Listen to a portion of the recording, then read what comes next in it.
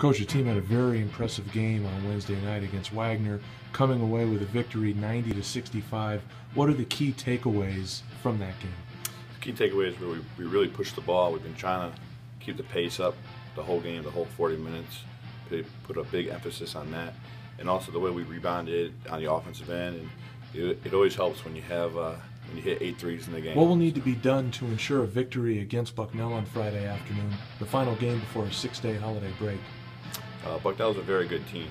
You know, they have a good inside presence, two very good post players that could hurt you inside or out, and their guards, you know, like to get up and down the court, but they also can shoot the three.